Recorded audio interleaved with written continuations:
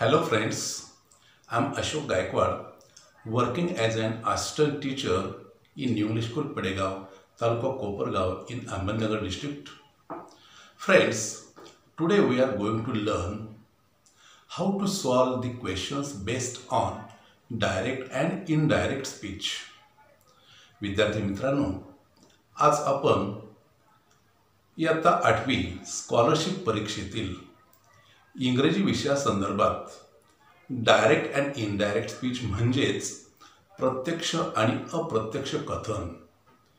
या घटकावर आधारित प्रश्नांची उत्तरे कशी सोडवावी याबाबत आपण चर्चा करणार आहोत.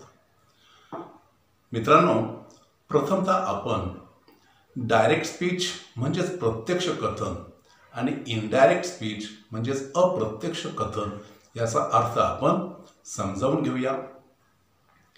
प्रत्यक्ष कथन म्हणजे एखाद्या व्यक्तीच्या तोंडचे शब्द जसेच्या तसे अवतरण चिन्हांचा वापर करून किंवा विराम चिन्हांचा वापर करून लिहिणे.